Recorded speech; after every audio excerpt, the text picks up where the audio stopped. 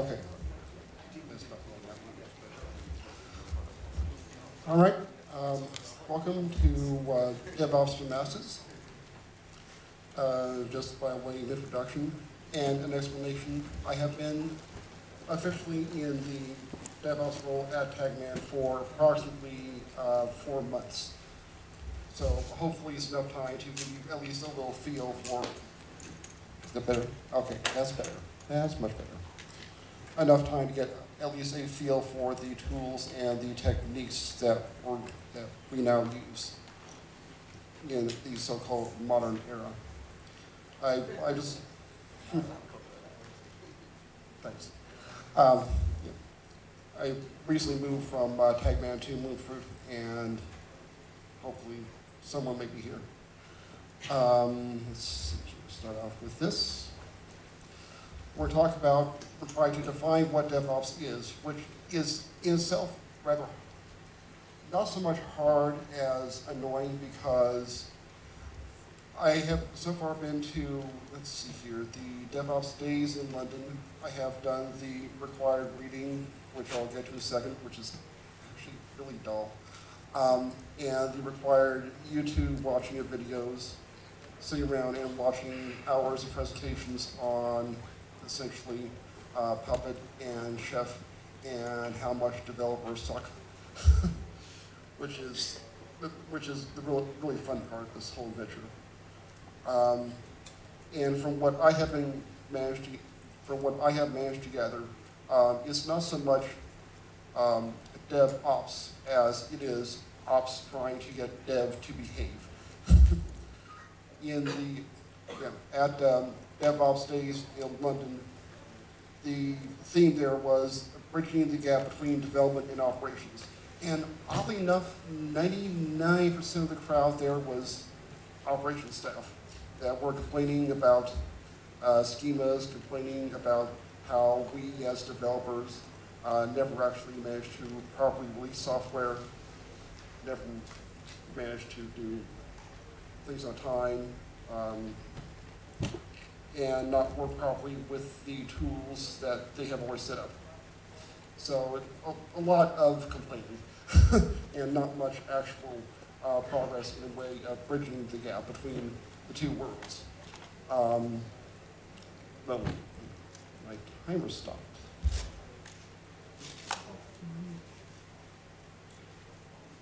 Thank you. 17 minutes. All right. All right. Uh, just for background, the so-called seminal work uh, for DevOps is by um, Gene Kim, uh, Eugene Spafford, and uh, one other person I can't I can't actually uh, remember the name of. Uh, the Phoenix Project, which is an extraordinarily dry and dull novel, um, at, at, at, least from my reading. If anyone out there uh, wants to challenge the Amazon reviews that he's been getting, feel free I'm sure we can debate. It feels like a Dan Brown novel, except with a lot, several less plot. Um, but anyway, it is so, so, so-called the assembly work uh, talking about, again, the DevOps bridge. And oddly enough, there's only one developer character in the entire novel. So again, reinforcing the fact that it really is not so much about development as, as not so much about ops working with dev as bringing dev to heel. so I, I, I, may be just touch cynical about this, so I, I apologize for my, I, I, apologize for the overall bearing. Um, the other work is also by Gene Kim, the Visible Ops Handbook, which I have not read. Um, what I would choose to define DevOps as is a combination of virtual machines, working in a cloud, working in either a cloud or a local cloud or a local cluster. Uh, the automation tools that work with the virtual machines, and finally integrating the um, machines with the oh, with the overall um, with the overall um, operation systems. Um, virtualization, uh, what this gives us um, the, main benefit that this gives us uh, for developers is the, the big, you no longer theoretically have excuses for, well, it worked on my machine. Because with a virtual machine, you have no, if you have everything set properly, it's a one button deploy to create a virtual machine that is a exact one-to-one replica of what's in production. So you no longer have the excuse of being able to say, well, you worked on my machine, it doesn't work production, what's wrong? Because you have the same set. Again, theoretically, we all know there, we all know we're in the real world, so there's configuration file issues, there may be networking issues, but the code will be solved, and the code should be one-to-one between your machine, QA, if you have QA nowadays, that's not really passe from what I've seen, and uh, production. At least companies like uh, Booking and um, my last haunts at Tagman, I'm not sure how Moonfruit works yet in terms of QA, but that seems to be going the way of letting the users do your QA, or being more respective. Uh, see. Yeah. The virtualization platforms that we're currently using are Xen and QEMU. Uh, for those of you that don't know, it's just a way to build within your local machine a cluster of smaller virtual machines. Uh, we're going to talk later about how that integrates with roles. Or, I'm sorry, how that integrates with the new tools Puppet and Chef. And what that and what that does is lets us create machines based on, say, a database class or create a machine based on a master web server. So you deploy one, so you deploy with one button, again, theoretically. It actually works out to two command line instructions to deploy a, uh, to deploy, mm, sorry, to deploy, say, a full database cluster and be able to replicate that repeatedly and install that on your machine so you can take that home and do your development work on that or work on that at work.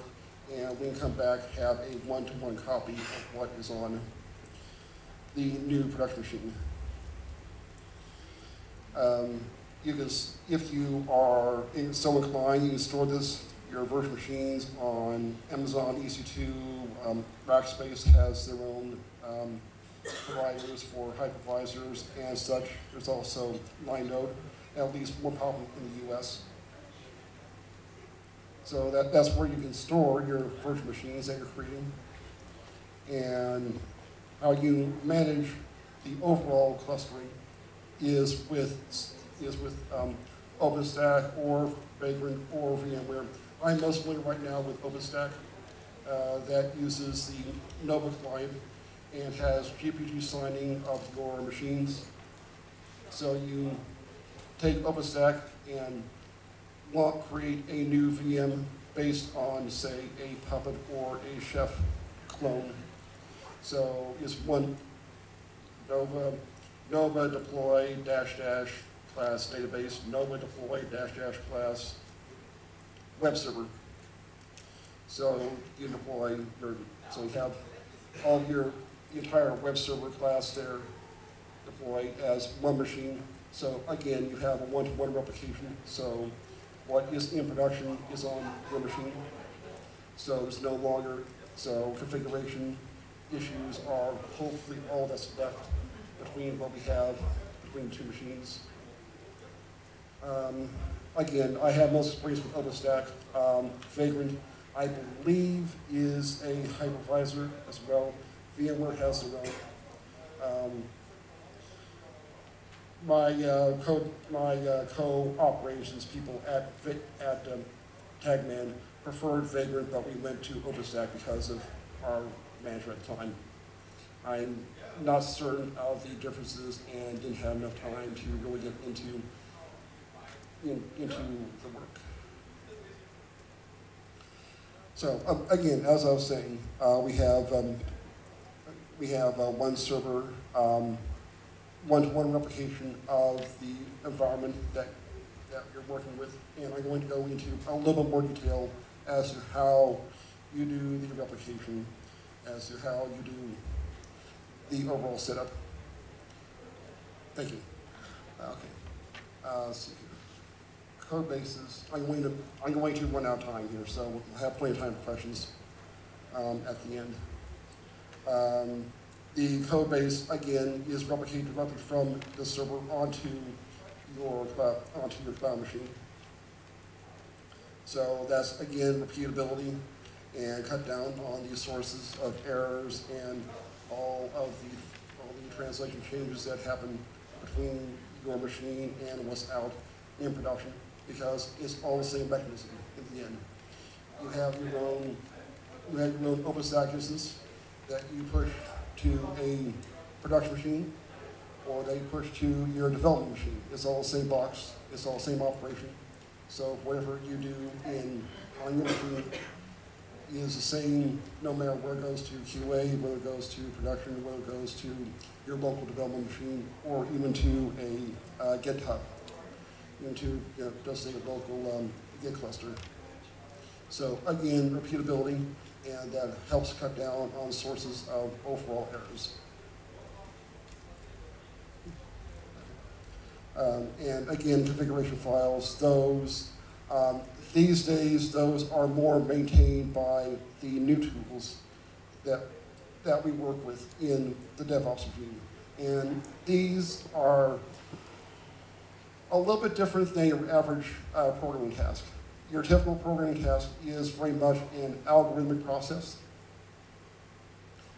One step follows the next, follows the next, maybe some loops, maybe some branching. Uh, tools like Puppet, tools like Chef, those are more along the lines of a declarative setup.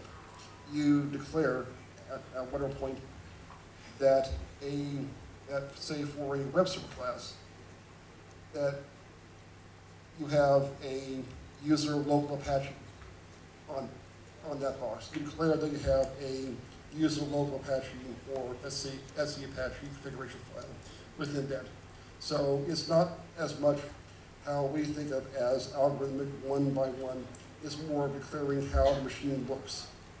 Um, I don't have examples for um, the files in Fortune because my laptop decided not to uh, connect this morning with a Wi-Fi chip. But um, but that that's that's the main difference there.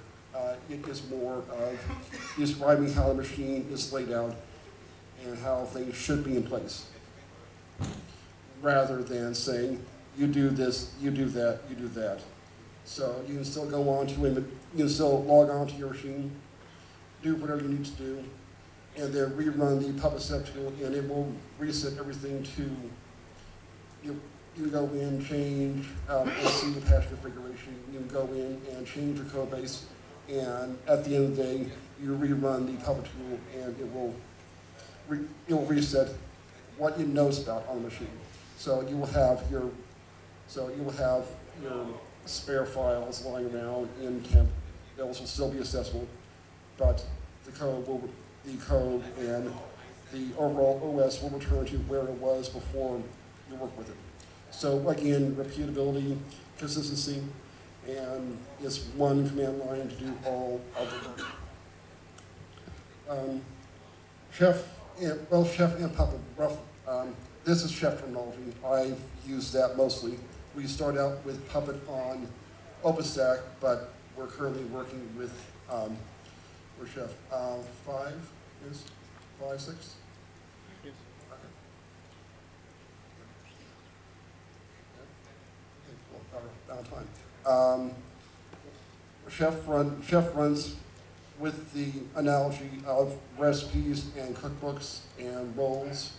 Um, roles would be a database machine, would be, this is to deploy a database machine, or this deploys an Apache cluster, or this deploys your master caching system. Within that, there are cookbooks that tell you how to deploy a database, that tell you how to deploy Apache. And within those are recipes that say what files are needed for Apache, what files are needed for a database cluster. And those you can, you can run the recipes individually with, I believe the command is knife prod command, knife prod, res, knife fraud, um, recipe, I, I forget. It, it- it's been a while, unfortunately. Uh, but, but I, again, um, that is how, um, again, in the DevOps realm, you fire up machines, how you declare, declare systems, and again, the idea being that it is repeatable from time to time, and you can create a base, you know, Arch Linux or a, base Arch Linux or Ubuntu or Debian Precise and overlay all of your source onto that in one step, repeat, repeatedly, and re- return the um, expected results time and again, as opposed to having to guess as to what version you're on, having to guess as to what, what system is running, etc. Um, the, the, la- the very last bit, and I'll run through this one, have questions, and if there are any. Um, the, the last bit, of course, and I, I wanted to find a picture of the monitoring baby, angry baby, but again, network failure. Um, Jenkins is the current um, best practices tool for continuous integration. Uh, Nagios is current, as far as I know, and opinions, of course, differ widely on the best practices for monitoring. Uh, speaking of angry babies, there we go. Excellent. Um, and Graphite is one of the various tools that you can use uh, for taking your Nagios feeds from monitoring and mon- and displaying those in shiny graphs for your for the um, managers and wa- watch for spikes and monitor your throughput. Um, that, that's, that's the other end of that. And for, at least for us, uh, what turns out to be, as far as I've been able to synthesize, and coming up on time now, um, is basically the idea is that you wrote your code, you are now supporting that through production, and you know, I got the blinds, blind mic there. Um, thank you. Um, so if you write that code, uh, you will also, as part of your DevOps task, you will also be able to create the roles for that piece. Say you have a web server, you create your own web server roles that go in and insert the files and run the RP, install the RPMs. So you are responsible for that as well. And at, you're also responsible for going into your Git repository and adding in the Nagios tracking, adding in the graphite monitoring as part of that. And at the end, you get the pager for a few weeks when your project goes into production, as opposed to the more traditional waterfall type approach or even the more traditional agile type approach where that's all done by ops. So you are now essentially on the chain as well. And if you do a, if you do a good job up front, then you're not going to get alerted. And when you do get alerts, then you will be able to fix them a lot quicker than someone than someone in operations. Thank you. And I'm now down to one minute, so um, I will uh, take questions if there are any.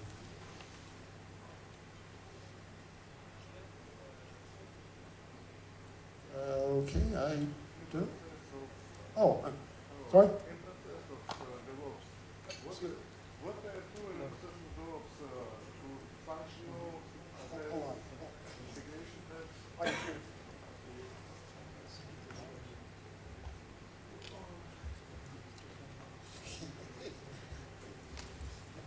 Okay, all right. All right, okay, I'm, I'm, Oh, uh, we use uh, Jenkins and uh, DevOps uh, to uh, deliver Perl software. So we use uh, functional tests, you use unit tests. Uh, what your common best practices in doing all? Um, all right, that is about uh, what we do for practices for, uh, for timing. No, that's my timer starts.